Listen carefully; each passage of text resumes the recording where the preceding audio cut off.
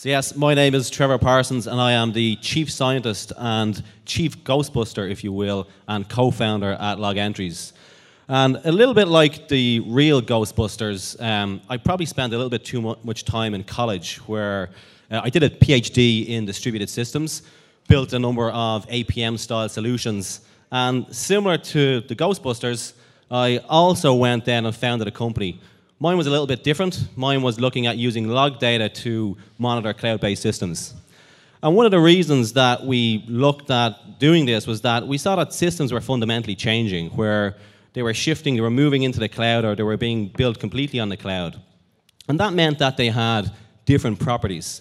So, for example, you couldn't necessarily see these systems, you couldn't necessarily touch or feel them, and if there was an issue on one of these systems, you couldn't necessarily walk over and look in the trunk or look in, in, in, in the, under the hood of the car or, or of the system um, to understand what was going on. So you didn't have the same level of control or access.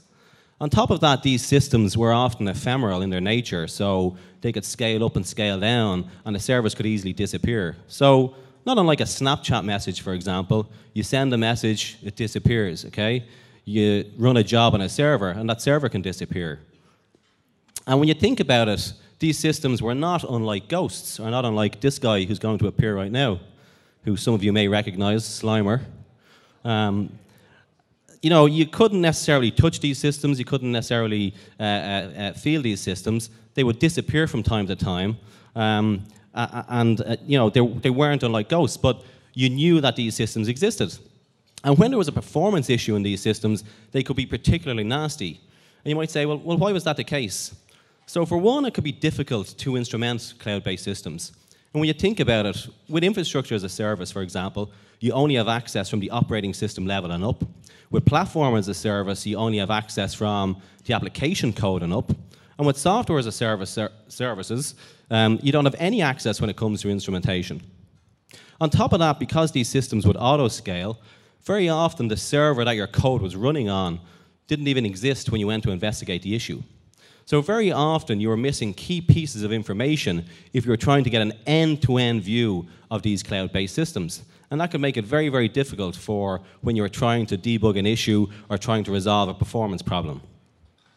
The good news is, is that all of these cloud services produce log data or they produce or have APIs that can be polled to produce a stream of information that can be fed into a, a, log management system. And that information will often contain performance information, it will contain debugging or exceptions, uh, debugging information, it will also contain how a system is being used.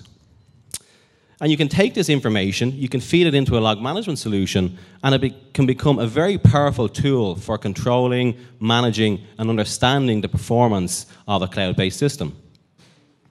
On top of that, log data also maintains the evidence. So if, for example, you are trying to investigate an issue on a, an ephemeral server that's disappeared, once you have the log data, you always have a historical view as to what was happening in that system at some point in time. So because log data is produced from every layer of the software stack and from your front-end components all the way to your back-end components, you really get a full end-to-end view of the system. And they really do give you the complete picture.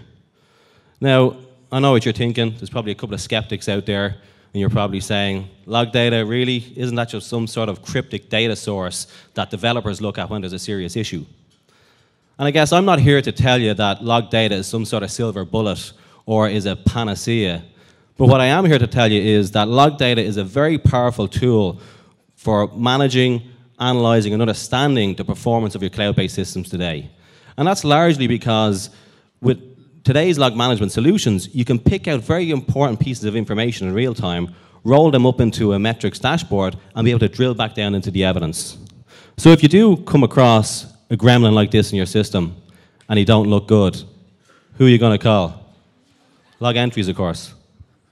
Thanks.